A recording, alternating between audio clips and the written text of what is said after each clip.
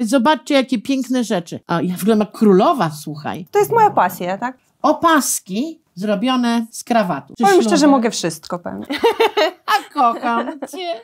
A my teraz przechodzimy do części niebywałej rękodzielniczej, bo ja e, na Facebooku wpadła mi w ręce, czy w oczy, fantastyczna grupa, która nazywa się Rękodzieło z Ukrainy. Roxana ba Babral e, ją założyła, młoda dziewczyna, Polka, która doszła do wniosku, że kobiety z Ukrainy, które przyjechały do nas, e, nie tylko po wojnie, ale nawet jeszcze przed e, całym konfliktem, a szczególnie po konflikcie, będą szukały zajęcia, a nie zawsze mogą do pracy chodzić. Natomiast są niebywale uzdolnione rękodzielniczo, jak cała ludność wschodu. Śpiew, taniec, rękodzieło. Wschód jest kolebką takich wspaniałych talentów.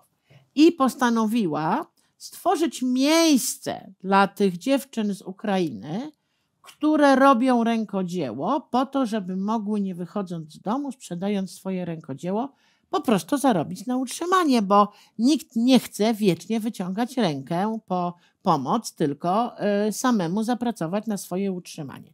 I właśnie Roxana Babral stworzyła taką okazję. Ja Was serdecznie zapraszam do dołączenia do grupy Rękodzieło z Ukrainy. Zobaczcie, jakie piękne rzeczy. Tam można zamówić kolorowe torty, ciasteczka, e, naszyjniki, bransoletki, odzież, e, kolczyki. Mm, e, naprawdę, co tylko chcecie. Jeśli chcecie, chcecie oryginalnego rękodzieła, to dołączcie do grupy Rękodzieło z mm, Ukrainy. My swoją grupę Babcio Butik z rękodziełem mamy, w związku z tym teraz dołączmy i zobaczmy, jak fajnie możemy te dziewczyny wesprzeć, a wszystko to dzięki Roxanie Babral, która miała być dzisiaj z nami, ale mm, musiała wyjątkowo popędzić e, do pracy.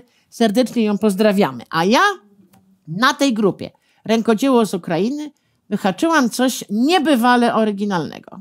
Mianowicie wyhaczyłam osobę, która przerabia męskie krawaty, stare czy nowe, wszystko jedno, na wspaniałe opaski do włosów. Dzień dobry, z nami jest e, mm, e, Oksana. Tak. Dzień dobry.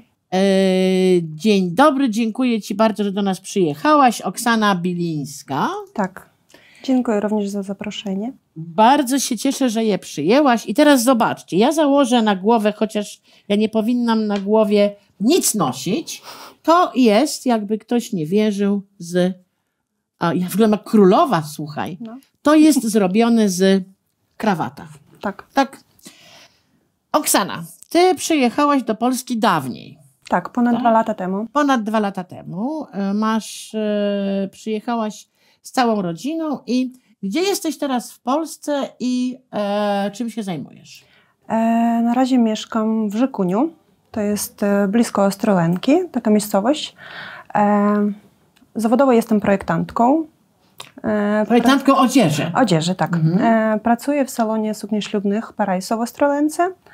E, szyjemy suknie od zera, również przerabiamy już nowe suknie. Czyli projektujesz suknie i możecie je wykonać, tak? Możemy, tak. Mhm.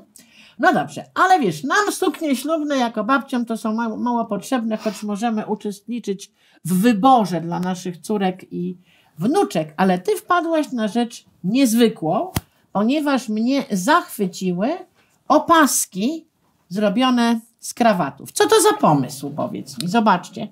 Zobaczcie, jak może takie jaśniejsze dam, bo trochę nie widać. Ty mów, ja pokazuję, ty mów. E, tak szczerze to zbierałam krawaty, bo chciałam rozpuścić ich i uszyć czegoś takiego, Czyli rozstrój. wymyśliłeś, że mężczyźni mają dużo takich starszych, nieużywanych krawatów i Tak. chciałaś coś z tego wykombinować. Tak, z jedwabnych Mhm. krawatów. Chciałam wykorzystać na uszycie jakiejś sukienki albo bluzy, albo nie wiem, marynarki może, jakieś takie ciekawej. To nadal jest ciekawy pomysł. E, tak. E, na, w tym czasie już robiłam opaski welurowe. Miałam. Aha. No i spróbowałam zrobić opaski z krawata. I wyszło. I chyba się udało. Zobaczcie. Zobaczcie, jakie to jest prześliczne. No ja mówię, ja nie powinnam nic mieć na głowie, ale e, chyba ta jasno-żółta była lepsza. Ale ja będę dla was tutaj zakładać. Oksana powiedziała mi, nie udało mi się namówić, żeby opaskę założyła. Powiedziała, że ona opasek nie nosi, no i weź tu człowieku być, bądź wiarygodny. O, proszę, może być taka, może do tych moich siwych włosów. W Dziewczyny, jak macie dłuższe włosy, którym no ja nie mam czego trzymać tą opaską, tak? No. Czy Ale dla waszych tak wnuczek? Czy... Nie musisz założyć, ja ci nie daruję. Ale mi nie pasują. To nie chodzi o to, że nie pasuje, pokaż jak ona wygląda na włosach. Tą jasno. O, No dobra. tą moją, dobra? Nie, ale weź za uszu, tak żeby ona trzymała włosy. Jak tam ci nie pasują? No nie pasuje. Wyglądasz po Wygląd- prostu pięknie i musisz tak zostać. Tak, ja pewnie. też założę. Nie zdejmę. Nie, ty zdejmiesz? Nie, ślicznie wyglądasz. Zobaczcie, opaski z krawatów. Ja uważam, że to jest kapitalna rzecz. Ale mam do ciebie kilka pytań. Wpadłaś na to, bo chciałaś te krawaty jako projektantka jakoś Wykorzystać, przerobić. no. Wyszły ci z tego opaski. Gdzie można kupić twoje dzieła i ile kosztują? Em, moje dzieło można kupić u mnie na stronie. E, strona się nazywa na Facebooku Świat Kobiet. Jakie są ceny takich opasek? To są twoje krawaty. Na razie od tego zacznijmy. Eee, Ile taka opaska kosztuje? 30 zł. 30 zł Tak, plus wiem. koszt kuriera. Tak, wiem, może to za mało, bo na tej grupie właśnie słyszałam, że to jest za mało, proszę podnieść ceny, ale Bardzo ciekawe rynkowe zjawisko. Klienci do producenta mówią, proszę podnieść ceny. tak. e, Ja zemdleję zaraz. nie wiem, prostu. może, może, Coś może nie klienci, tylko e, Inne osoby inne osoby, tak, które robią I- też opaski, tylko nie z krawatów, a nie wiem, z jedwabu takie zwykłe opaski. No Nie, chcę, nie chcą trochę, żebyś konkurencji. zaniżała tak, cen. tak, może i tak, ale na razie to nie jest moja tak, e, taka. em, Zasadniczy przychód. tak, to no, nie zarabiam na tym, tak, no, za dużo, tylko to jest takie No ale dodatkowe. zarabiaj trochę, błagam cię. to jest taki dodatkowy zarobek, no mam pracę, tak, ale to jest, to jest moja pasja, tak. Ja, Super. ja to Słuchaj, lubię, robię. a czy my możemy zrobić coś takiego? Ja na przykład mam taki pamiątkowy krawat po moim tacie. Tak, możemy. Gdybym ci przysłała e, taki krawat, to zrobiłabyś mi na zamówienie taką opaskę? Pewnie. Zrobiłabym. Nawet miałam takie wydarzenie. Jedna pani przysłała mi dwa krawaty Burberry chyba, tak? To wow, wow. Przepraszam za mój łamany polski, ale... Piękny polski, proszę cię, przestań, za nic nie przepraszaj, dziewczyno, jesteś E, wspaniała. no i przysłała mi dwa krawaty i zrobiłam dla niej dwie opaski. Dziewczyny, może mamy w domu pamiątkowy krawat po mężu, po tacie, po No ojcu. właśnie. E, lub taki, którym nie chodzi, a na przykład pasuje nam do jakiejś odzieży. To również może fantastycznie zastąpić nakrycie głowy, którego wymagają często śluby.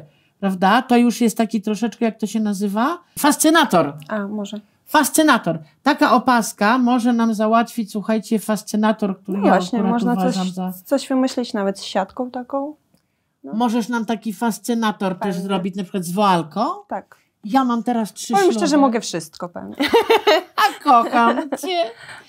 A czy, słuchaj, a może pokombinujesz tak, żeby takie właśnie robić na przykład z woalką, bo teraz woalki modne dla nas. Może. Porobimy? Porobimy. 30 zł z przesyłką. Póki co, bo zaraz ją namówią do podwyżki, e, podwyżki cen. I słusznie, dlatego że każdy broni cen swojego rękodzieła. Jeżeli u ciebie takie dzieło będzie za 30 zł, to ktoś będzie musiał ciągnąć w dół. Rozumiem, ale na razie dostawałam te krawaty, powiem szczerze, od ludzi. Tak, Czyli tak naprawdę tylko twoja robota i kółko i uczciwie to wyceniłaś. tak nawet dzisiaj, nawet dzisiaj dostałam, naprawdę byłam taka zachwycona, taka zdziwiona, jak jechałam tu do Was do studii, dostałam e, w paczkomacie paczkę od Pani z Warszawy, Pani Dorota e, Skon, Skączna chyba. Wszystko jedno. Tak, ponad 100 krawatów wysłała mi. Gdzieś też To zobaczyła moje dziecko. roboty. I, Oksanko, bardzo Ci dziękujemy za e, spotkanie. Robisz super rzeczy Dziękuję. i zapraszamy do dołączenia do grupy Rękodzieło z Ukrainy, bo można tam po pierwsze kupić niezwykle oryginalne rzeczy, a po drugie pomóc tym dziewczynom, które uciekły przed bombami, uciekły przed podłością ludzką do naszego kraju, po prostu pomóc utrzymać się w Polsce, bo nikt nie lubi, jak bez przerwy jest ciężarem, prawda? Tak, ja też z swojej strony chcę podziękować wszy- wszystkim Polakom za wsparcie i naprawdę jesteście wielki mm, przez to, co robicie dla, naszej, dla naszego kraju, dla naszych ludzi i dziękuję Wam bardzo. Niezwykłe to, co mówisz, Od- bo to rzeczywiście Od taka... wszystkich, w imieniu wszystkich Ukraińców dziękuję. A dzisiaj macie paschę waszą, Tak, tak? dzisiaj mamy Paschę. Właśnie dzisiaj bardzo baliśmy się. Ja to przeżywam, bo moja matka została w Ukrainie, moja siostra z dziećmi i u nas e, no, była taka gadka, że mają dzisiaj być ataki po tych kościołach, po tych O cerkwiach. Jezus Maria, aż mi ciarki przeszły, proszę. No i też z rana dzwoniłam do mamy, czy wszystko jest dobrze, ale na razie wszystko w porządku. No.